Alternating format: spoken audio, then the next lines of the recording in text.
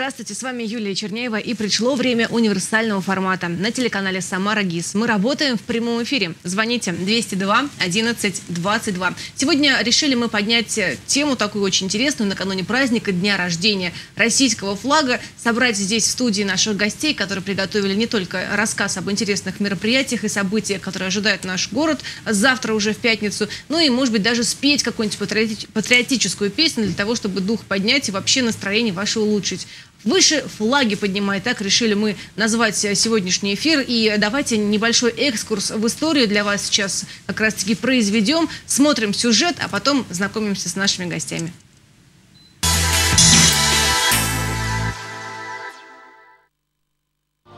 Сегодня принял решение объявить государственным флагом России трехцветный флаг. Кажется, что родина и триколор уже неразделимы в сознании каждого, кто живет в России. В 91 году он вытеснил своего предшественника – красное полотно с серпом и молотом. Во время путча у Белого дома триколор стал символом борьбы за свободу и демократию. Началось с Петра Первого, по-моему, если не ошибаюсь. Вот и до сегодняшнего дня, в общем-то, я доволен, что вернулись к старому. Как было, так и есть, должно так быть. Каждый цвет флага наполнен смыслом. Белый обозначает чистоту, синий – благородство, красный – отвагу. Немногие знают, что российский флаг в этом году отмечает не 22 года, а 20. В 1993 году ради исторической справедливости лазоревый цвет на нем, то есть голубой, заменили на синий, а алый – на красный. Именно таким он был более 300 лет назад, когда по велению Петра I под триколором стали ходить российские корабли и биться русское войско. Напомнить о флаге и его богатом прошлом активисты Самары вышли на улицы. В костюмах эпохи Петра I они раздавали символику праздника. Не только патриотизм, просто душевный подъем. Душевный подъем. Знаете, на энтузиазме все. Хочется ходить, изображать Петра. Мы окунулись в прошлое. Лично мне быть Екатерины II очень приятно, и это какая-то гордость. Набережная Самара оделась в бело-синий-красный цвет. Прохожие охотно разбирали ленты и флажки. Остается надеяться, они найдут достойное место для главного символа российского государства. Ну что ж, друзья, сегодня будем немного, мне кажется, такой вот продвигать идею патриотизма в нашем эфире с большим удовольствием. Я вам представляю наших гостей. И, как вы видите, на стене у нас тоже флаг флаг России. А, итак, давайте знакомиться. С нами здесь директор Самарского дома молодежи Сергей Бурцев. Здравствуйте. И председатель Ассоциации профсоюзных организаций студентов Самарской области Алексей Люлин. Здравствуйте. Здравствуйте. Ну, я хочу, наверное, задать такой, может быть, э, не знаю, такой вопрос провокационный. Есть ли у вас, я не знаю, в машине, дома, где-то на работе флаг Российской Федерации? Алексей. Конечно. У меня в офисе стоит и дома. Ну, дома ленточки, которые раздают, но они есть.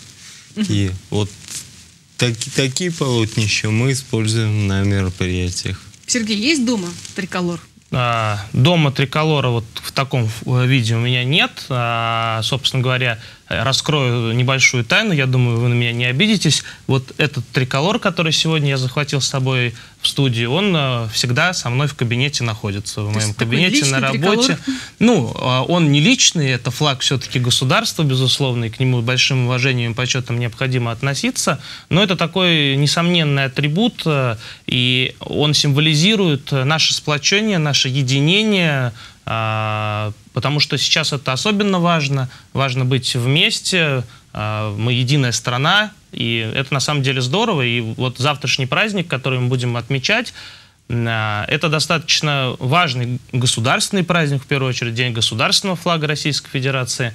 Но это еще и такое мероприятие, которое позволяет действительно молодежи и в целом гражданам в каком-то плане подумать еще раз, да, в какой стране мы живем и что в целом э, мы уважаем эту страну, чтим ее традиции. История государственного флага России действительно не одно столетие, мы это сейчас вы в сюжете увидели. А, да, он менялся, э, и в эпоху советской власти это был другой флаг, но в целом сейчас мы вернулись а, к тому историческому виду нашего государственного флага. Ну и плюс отношение к флагу должно воспитываться уже с, с раннего, да. с раннего возраста. Что однозначно. у вас ожидается завтра именно силами молодежи в нашем городе?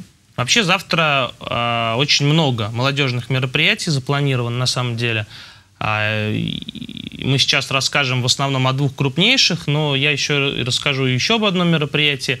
Во-первых, завтра в течение всего дня а, волонтеры на улицах Самары будут раздавать, опять-таки, ленточки, флажки, а, текст гимна Российской Федерации, то есть э, вот некие такие символики праздника. Порядка 10 точек на территории всей Самары организовано. На сайте администрации города вывешен список этих точек, и можно посмотреть, э, и совершенно бесплатно, безусловно, получить вот такой себе памятный подарок. И уже решить самому, да, куда его повесить? Безусловно. В машину, я не знаю, дома, в офис? Вот это такая сквозная акция, ей уже много-много лет.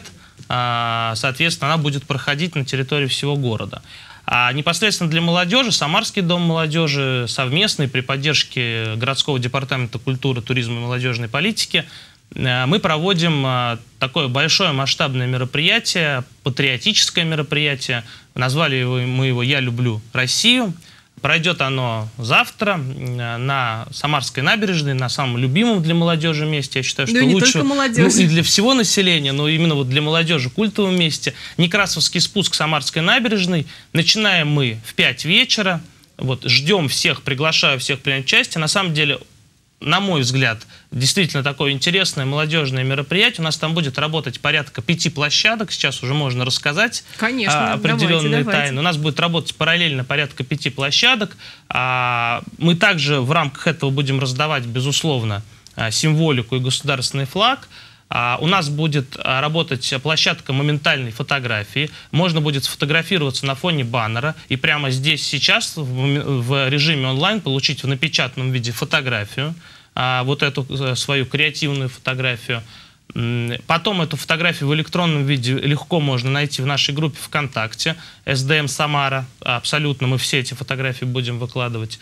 А, чтобы фотографирование было интересно, будет работать площадка Аквагрим, Ох, где художники смогут нарисовать на лицо, на руки, ну, на, на любое, где пожелает да, участник а, не только флаг, но и в целом рисунки в стиле государственной символики. А это можно вообще не порицать, если на коленке флаг себе нарисую? Это ну, будет без, нет, э, без, неуважительно? Безусловно, мы будем а, смотреть, и а, это будут а, обязательно, как бы, ну, скажем так, приличные места тела, несомненно. А, нет, э, это э, законно разрешено, безусловно, с уважением мы должны относиться. То есть такая площадка будет работать. А, это можно и в дальнейшем, там весь оставшийся вечер э, ходить, и можно именно для фотографирования это сделать. А у нас, соответственно, будет работать площадка 3D-рисунка. Мы нарисуем один из самых больших в Самаре 3D-рисунков в посвященный именно вот, а, Дню государственного флага Российской Федерации. 3D-рисунки это вообще... Да, потом на фоне этих 3D-рисунков можно будет фотографироваться, безусловно. Там будет, раскрою небольшой секрет, это будет именно виды Самары очень красивые. А, соответственно, самое главное этой площадки ценность, что можно не только увидеть этот прекрасный рисунок, фотографироваться, но и принять участие в его создании. То есть каждый желающий, а, профессиональные художники создадут сам рисунок, а уже разукрашивать его в цветах в общем, можно на протяжении да, всего этого угу. времени. Так. А, у нас планируется концертная программа, вокально-танцевальные номера.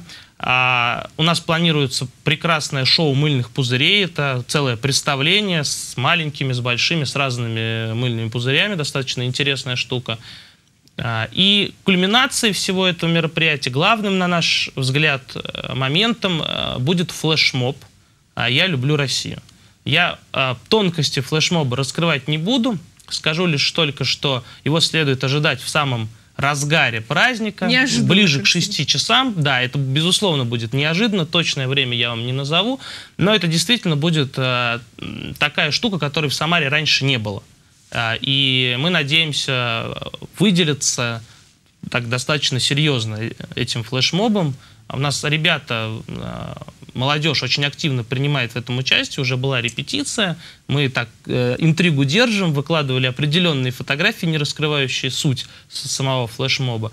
Поэтому действительно всем будет э, чем заняться. Это можно и посмотреть, и поучаствовать, э, и попробовать самому что-то сделать. Такое вот мероприятие Погода завтра ожидается замечательная, мы это посмотрели. Вот.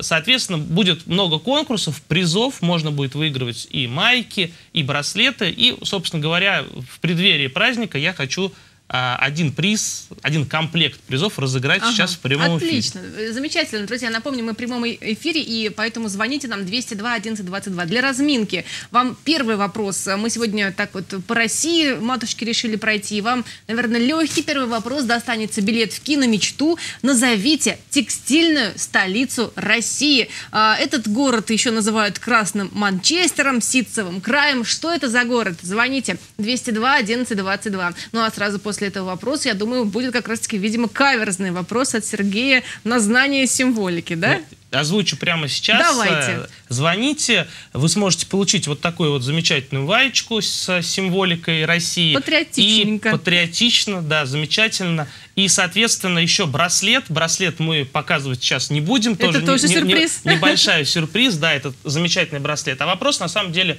очень простой. А, Вам всего лишь необходимо назвать соотношение сторон государственного флага Российской Федерации. В про- э, в- а, соотношение, да. Соотношение Пропорции. сторон, пропорция, да. А, это очень простой вопрос, на самом деле. Флаг перед вами, вы можете на него еще раз Померить, посма- если его что. еще раз посмотреть, да, и ответить на этот вопрос. Вы получите здесь, э, коллеги подскажут потом, как это сделать. Вот эти замечательные Конечно, призы. конечно. Так, ну, э, мы к набережной еще вернемся, потому что это удивительное, конечно, событие. А нам уже позвонили. Ну, давайте, отвечайте. Кто у нас здесь в эфире? Алло, здравствуйте. Алло, здравствуйте. Как вас зовут? Меня зовут Олеся. Олеся, очень приятно. Олеся, на какой вопрос готовы ответить? Э, Я хотела бы ответить текстильная столица России. Ну, давайте попробуем. Что же это? Это город Иваново. Ну, конечно, простой вопрос. Билеты в кино достаются вам. Не желаете ли попытать счастье и отгадать процентное соотношение сторон российского флага?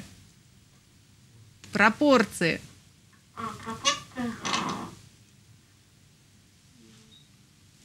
Ну, если затрудняетесь, мы с большим удовольствием ждем наших следующих дозвонившихся. Обязательно, обязательно звоните 202 11 22. Ну и так вам еще вдогонку вопрос. м, Будем немножечко так э, интерактив наш усиливать. А Сколько в нашей стране городов федерального значения? Их э, несколько. Если вы их назовете, будет замечательно. Получите сертификат на аттракционы а, в замечательный такой вот э, парк, парк Гагарина «Три медведя». Вас ожидают. Звоните. Ну так продолжаем разговор про мероприятие. Выяснили, что завтра в 17.00 на набережной Некрасовский спуск будет удивительно а, весело, интересно, шумно и многолюдно. Не менее многолюдно, я так понимаю, Алексей, будет и в МТЛ-арена. Да, завтра в 18 часов, примерно в то же время, большое мероприятие в МТЛ-арена. Так. А, Мы э, собираем, опять же, молодых людей со всей области, со всего региона. Уже сейчас подтвердили свое участие больше двух тысяч человек. То есть это тоже ого-го Да, это очень много. Они будут из разных уголков нашего региона, из разных образовательных учреждений, из разных муниципалитетов. А что они будут делать там? А, там большое представление. Каждый что-то сцене. готовит, да, наверное? Нет, они зрители. А, они на гости, сцене- получается. Они гости, да. На сцене а, больше ста молодых людей, которые будут делать для них представление. А, мы понимаем, что уже сейчас это представление намечается ну, грандиозным, и а, режиссер работает уже. А хотя бы какие-то секретики. Кто эти коллективы, кто эти ребята, кто А. будет выступать? Ну, а, давайте так. Значит, выступать будут наши молодые ребята самарские, и потом будет хедлайнер, который приглашен специально для выступления на этом мероприятии. Это секрет? Пока не буду раскрывать. А может ли сейчас э, ну, обычный гражданин самарец попасть к вам на мероприятие? Или уже- Вход открытый, вход То свободный. есть э, человек может прийти? Да, может прийти, Ограничения по возрасту?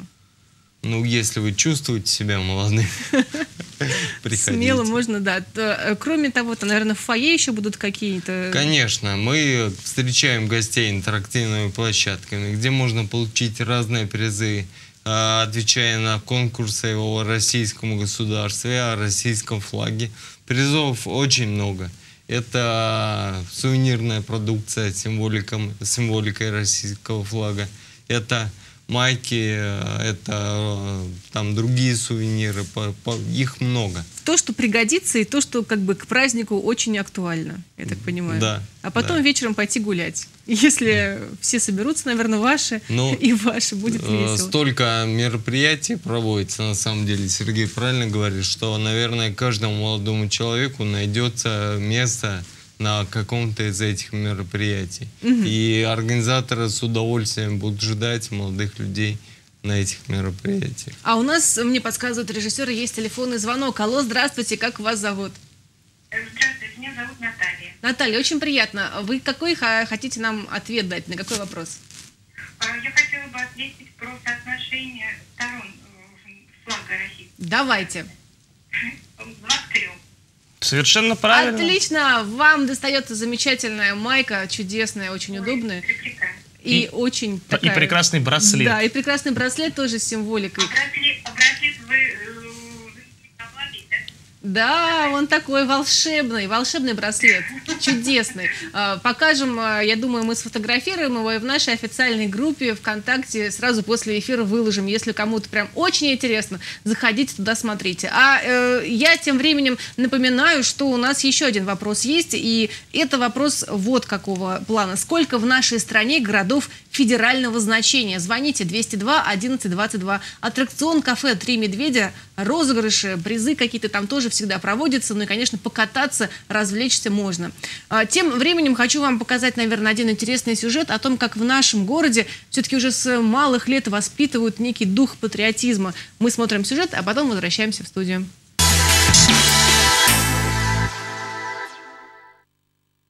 Солдата, я видела вот памятник солдата, который умер.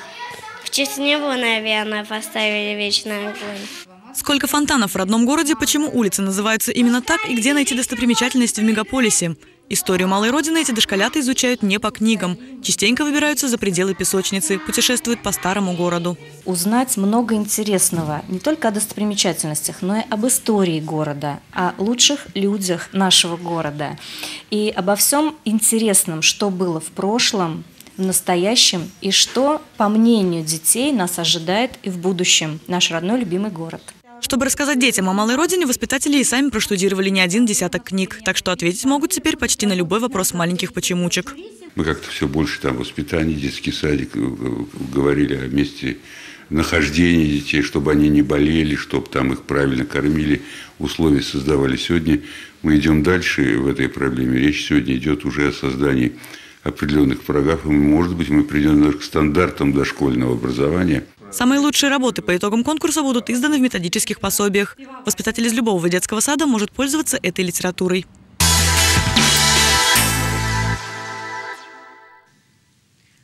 Все флаги будут в гости к нам, а точнее наш триколор. Завтра отмечается День государственного флага Российской Федерации. И в связи с этим мы сегодня вас приглашаем на интересные мероприятия, которые проходят в нашем городе. Обязательно о них еще раз расскажем, повторим явки, пароли. А тем временем разыгрываем мы сертификат в кафе аттракцион «Три медведя». Давайте э, узнаем, кто нам дозвонился. Алло, здравствуйте.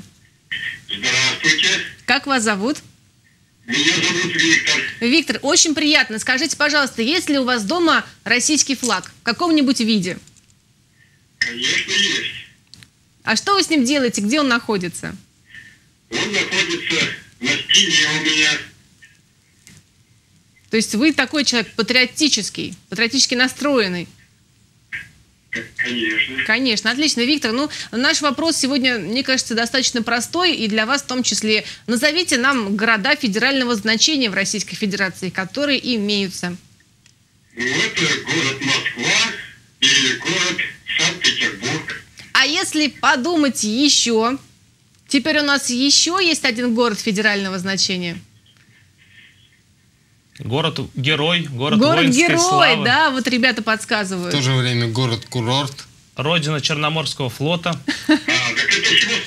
Конечно, вот, отлично, когда еще и гости знают. И здорово, что вы теперь тоже вот вспомнили, ведь наверняка многие знают о том, что город этот был, конечно, и а, город федерального значения. Запоминайте, друзья, три. Москва, Санкт-Петербург, Севастополь. Вам достается сертификат э, на посещение аттракцион кафе «Три медведя». Спасибо большое за звонок. Ну что, ребят, нам нужно, наверное, сейчас еще раз э, резюмировать. Может быть, кто-то сейчас только подключился и не знает, по какому поводу мы собрались. Собственно, повторяю еще раз, 22 августа, день рождения государственного флага Российской Федерации. И вот в Самаре силами волонтеров, я так понимаю, вы их долго набирали, да, э, для того, чтобы... Ну, я вам скажу, что мы их не так уж и долго набирали. То есть быстро отозвались? Что, ну, я думаю, что вот у нас порядка 150 ребят, непосредственно участников флешмоба, и могу сказать абсолютно честно, это ребята могут подтвердить, мы никаким образом там не подключали какие-то дополнительные ресурсы, не напрягали. Не принудительно, Нет, да, мы разместили информацию в социальных сетях, что есть такое мероприятие, и ребята сами э, зарегистрировались в форме в специальной, который, и пришли к нам на мероприятие. Ну, где-то, наверное, недельки за полторы э, до мероприятия мы разместили данную информацию, и, собственно говоря, а, такой результат хороший получили. Чему, безусловно, рады, что молодежь у нас активная, молодежи интересно в этом участвовать, и э, в каких-то таких подобных мероприятиях, и молодежь откликается на это. Я бы хотел вот до того, как повторю еще ключевые позиции, э, такую вот тему поднять. Я думаю, что нас смотрит и молодежь, и смотрит и старшее поколение. Я бы хотел обратиться, наверное, к молодежи. Да, камера напротив, пожалуйста. Обратиться к молодежи с таким призывом, что а, безусловно, мы сейчас находимся в такой непростой геополитической обстановке, я имею в виду вся страна.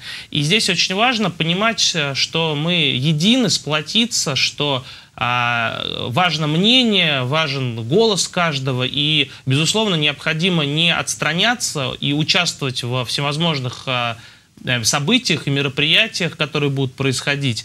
И если брать именно Самару, Самарскую область, то, безусловно, у нас ближайшее событие, очень важное, на мой взгляд, это выборы. Я не собираюсь здесь агитацию никакую, ни в коем случае э, начинать. Я хочу только лишь сказать, что надо хорошо понимать, что а, выбор это важное событие, и что э, это определенная ответственность, определенный долг, необходимо прийти на избирательный участок и сделать свой выбор. Не более того, ни в коем случае никакой агитации. Но вот именно проагитировать за необходимость участия в выборах, э, я считаю, как вот человек не безразличный, как лидер молодежных организаций, я должен. Поэтому я очень призываю молодежь и, в общем-то, все население, безусловно, молодежь в первую очередь э, прийти и э, высказать э, свой голос. Это очень, на самом деле, важно. И почему я говорю это сейчас? Потому что это все, в общем-то, в одной такой тематике гражданственности, патриотизма. И вот этот праздник, который будет, сюда тоже подходит. Ну, я хотел бы поддержать Сергея в его призыве. Почему молодые люди должны идти? Мне кажется, потому что им жить в этом государстве, в этом регионе. И они должны выбирать то, как они хотят жить. Они доверяться так, чтобы за них решили все наверху, не думают, что э, все уже решено, и их голос ни на что не влияет. Их голос самый важный. Самый важный голос молодого человека. Ведь молодежи больше 30% проживает у нас. И если 30% придет на избирательный участок, это огромная сила. Да, это сила. Вот. И я призываю еще раз молодых людей просто 14 а, сентября прийти и сделать свой выбор. Ну, быть активными и гражданскую свою позицию, Во конечно. всем, быть активным во всем. Да. Ну, а Не... по поводу мероприятия, да, это гораздо уже. быстрее произойдет. Завтра, 22 августа, День государственного флага. А, жду вас на Некрасовском спуске Самарской набережной, а, начиная с 17.00. А, замечательное мероприятие, море подарков и самая, самая изюминка – флешмоб, который на самом деле стоит увидеть своими собственными глазами. Приходите. Ну и Алексей. также я жду вас в 18 часов в МТЛ-арена. Много интересного. Кстати, возможно, что у нас невозможно, уже наверняка, что у нас будет губернатор, а, придет поздравить молодых людей. И хедлайнер, который опять же к нам едет из Москвы.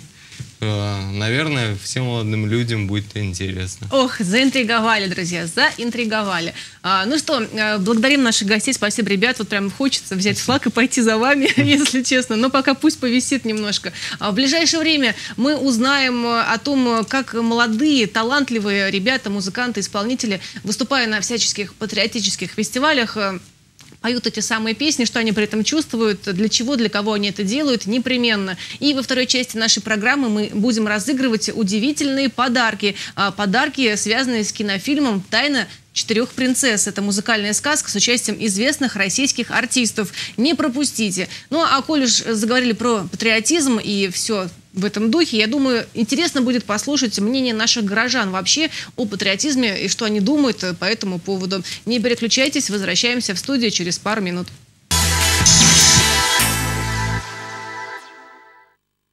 Для меня патриотизм – это любовь к своей малой родине. Вот к тому месту, где ты живешь, растешь. Ну а в целом, в целом это, наверное, такое понятие для, для каждого свое. Долг отдачи, э, во-первых, семье своей, но долг вообще своей родине. Патриотизм, ну, в первую очередь семья, родные, ну а дальше все остальное родина. Наверное, любовь к родине и забота о родине. Об этом надо думать. Я так сразу не отвечу. Для меня патриотизм, когда человек э, находит э, себя в труде и трудится в своей стране, не обращая внимания ни на какие субъективные факторы, ни на какую политику, просто трудится. Это и есть патриотизм. Потому что это все равно созидательно, это все равно на благо своих сограждан. Это сопереживание тем трудностям, которые испытывает страна в тот или иной период. Это ну, какое-то ощущение чего-то общего вместе со всеми. В основном, наверное, вот в период трудностей возникает какое-то вот это чувство патриотизма. Любить родину, быть патриотом, не есть в другие страны, отдыхать, допустим. Вот. Покупать одежду здесь, а не в каких-то там заграницах или еще где-то. Ну, например, продукты питания. То есть я стараюсь брать э, от местных производителей, покупать, свою семью кормить. Считаю, что это все-таки поддерживает своего производителя. Любовь к родине. Любовь к себе, наверное, это свой язык именно. Ну и отношение именно к соотечественникам. Патриотизм, гордость за родину. Ну что, продолжается наш прямой эфир. Вот в руках у меня появилась такая замечательная футболочка от создателей фильма «Тайна четырех принцесс». Детская маечка, таких мы сегодня будем разыгрывать две, очень стильная, эксклюзив. А, что хочется вам сказать по поводу этого замечательного фильма? А, фильм «Тайна четырех принцесс» по мотивам трех сказок братьев Грим, храбрый, храбрый портняшка, семь принцев воронов, стоптанные башмаки. А, вот э, повествует о том, что в некотором царстве, государстве жил-был портной по имени Ганс. Вот по воле судьбы он оказывается во дворце короля, который поручает Гансу раскрыть тайну четырех принцесс. Что будет дальше, я думаю, с большим удовольствием посмотрите как раз-таки в кино. Э, и мой первый вопрос, чтобы уже далеко не ходить, в этом фильме снимается очень много известных актеров, артистов, в том числе э, главная героиня, которая представляет этот фильм, она к вам обратится потом уже даже лично в нашем эфире сегодня, это Кристина Арбакайте. Так вот, первый вопрос мой связан именно с ней. Именно в этом фильме Кристина Арбакайте исполнила роль Лены Бессольцевой. Назовите этот фильм 202 1122. Ну что, с большим удовольствием я э, вам представляю наших гостей. Итак, это неоднократный победитель, обладатель гран-при международных всероссийских конкурсов Артем Виноградов. Здравствуйте. Здравствуйте. И лауреат международных всероссийских конкурсов вокального искусства Мария Чернышкова. Здравствуйте. Здравствуйте. Ребят, ну такой всем сегодня вопрос задаю по поводу флага. Есть ли у вас где-нибудь в каком-нибудь виде флаг Российской Федерации? Артем. Флаг над столом висит, над компьютерным А столом. что вот ты делаешь? Ты смотришь, вдохновляешься? Как это вообще происходит? Ой, это само собой получилось, когда-то мне подарили. Очень приятно, когда в комнате висит такой элемент патриотизма, особенно в свете последних событий, присоединения Крыма. А, вот и у моих друзей, знакомых, и у меня в том числе, такой подъем патриотизма на самом деле. Что очень важно, я думаю. А над столом, да, флаг висит и всегда украшает комнату. Ну, то есть, в принципе, ты нормально к этому относишься. Не- Тебе там не стыдно, как молодежи? Нет, нет, ко мне прекрасно, очень часто приходят друзья, и никогда меня это не смущало. Мария, у тебя как с этим дело У обстоит? меня в виде брелка, то есть я купила сейчас в магазинах очень часто мы можем увидеть такую эмблему в виде разных брелков, браслетов, вот. То есть ты тоже как-то Да, прониклась? конечно. Ну, расскажите немного о себе, вот в каких э, фестивалях, в каких конкурсах приходилось участвовать. Вот Артем, ты у нас не, неоднократный, многократный обладатель. Как так случилось? Где уже успел засветиться? Много где успел засветиться. Вот э, последний раз в июне э, лета этого был в Болгарии на конкурсе, где занял гран-при. Э, осень, весной этого же года был в э, Финляндии на конкурсе, где тоже взял гран-при. А в сентябре планирую поездку в Испанию, также на конкурс на вокальный, где тоже планирую достичь неплохих результатов. Когда ты, э, вот я просто, что-то вот такой вопрос у меня возник, едешь в другую страну, ты флаг-то возьмешь в этот раз? Будут за тебя болеть твои Болеть друзья? всегда, да. э, Обычно большими компаниями едем на подобные мероприятия всегда. И когда объявляют и, э, города, и когда объявляют страны, а, за Россию всегда очень много криков, воплей радостных. Да. Иностранцы тоже очень хорошо поддерживают, очень рады всегда э, гостям из России. А у нас есть телефонный звонок. Алло, здравствуйте, как вас зовут? Здравствуйте. Как вас зовут? Здравствуйте, меня зовут Надежда. Надежда, очень приятно. Ввиду того, что наш эфир уже подходит к концу, долго не будем, как говорится, тянуть. И скажите мне, в каком же фильме Кристина Арбакайте исполнила фильм Лены Бессольцевой? Ну, фильме «Чучело». Конечно, 1983, если я не ошибаюсь. Спасибо большое. Приз, вот такая детская маечка. Я надеюсь, кому-нибудь сможете э, ну, применить. Спасибо. И тут же летит э, вам, дорогие телезрители, мой второй вопрос. Э, Вспоминаем «Любовь, морковь», такой известный фильм, где снималась тоже Кристина Арбакайте. Назовите фамилию этой веселой семейки из трилогии «Любовь, морковь». Какая была фамилия главных героев? Маш, ну расскажи ты, где уже была, что видела, что делала, как вообще выступается? Выступается очень здорово. Э, На патриотических мероприятиях я была довольно-таки часто. Та же агитация. То есть э, сейчас мы ездим по поселкам, э, представляем нашего губернатора э, Меркушкина. Так, и, конечно же, участвовала тоже в всероссийском конкурсе «Я люблю тебя, моя Россия». Он проходил у нас в Самаре. Заняла там место. Третье, правда. Ну, то есть Ну, э, ничего. карьеры ваши идут в гору. Конечно. Но это искренне на самом деле, очень здорово. В ближайшее время мы будем петь, я надеюсь, э, песню, которую сейчас будет нам исполнять Артем. Беру звонок, который есть у нас в студии. Алло, здравствуйте. Здравствуйте, Как вас зовут? Сергей. Сергей, отвечайте на вопрос. Какова же фамилия героев трилогии «Любовь, морковь»? Фамилия Голубева. Голубевы – это правильный ответ. Вам тоже достается маечка. Ну а пока Артем будет готовиться сейчас э, выступить и спеть, а мы послушать э, небольшой фрагмент для того, чтобы вы поняли о том, что же такое фильм «Тайна четырех принцесс».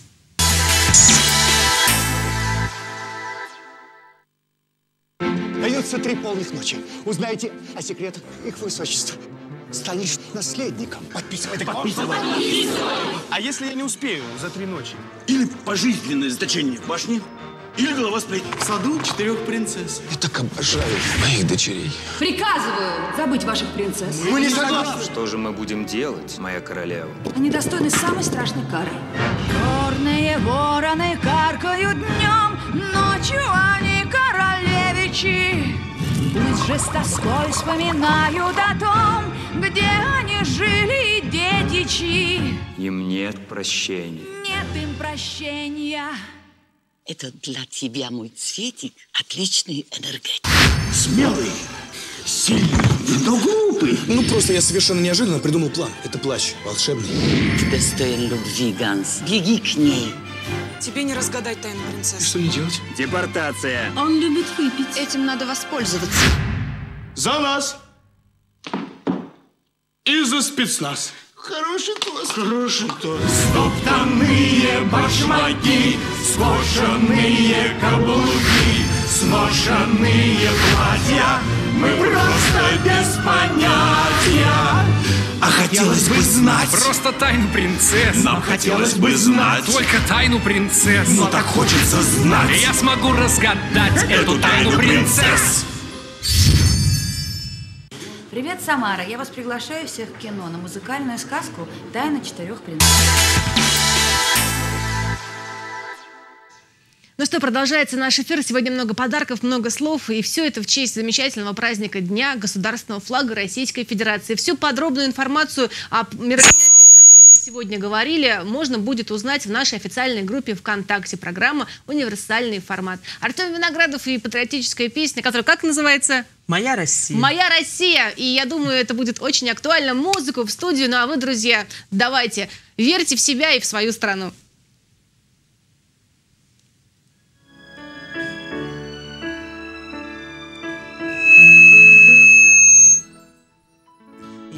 Родину, мать, за Россию молюсь. Я своей великой страною горжусь Потому что мы здесь рождены и живем. Это наша семья, это наш отчий дом. Не сгибалась ты, Русь, поднималась опять. Несмотря ни на что, продолжаешь стоять. Те, кто злобой кипит, никогда не поймут Что за люди у нас в России живут. Ты живи, моя Россия Славься, русская земля, Краше нет под небом синим,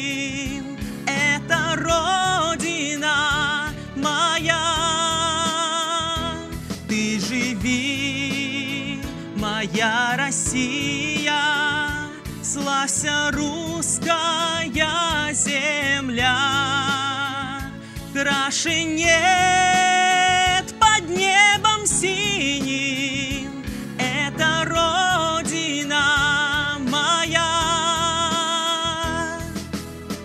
Мы добьемся всего, если вместе пойдем. Мы уж песню свою, видит Бог, да поем. Наш высокий порыв никому не сломить, А иначе зачем на земле этой жить? Ты вокруг оглянись на леса и поля, Нам с тобою хранить надо эти края. Пусть березы шумят и ромашки цветут, Пусть на нашей земле наши дети растут. Ты живи, моя Россия, Славься, русская земля, Краше нет синим, Это Родина моя. Ты живи, моя Россия, Славься, русская земля, Краше нет под небом синим,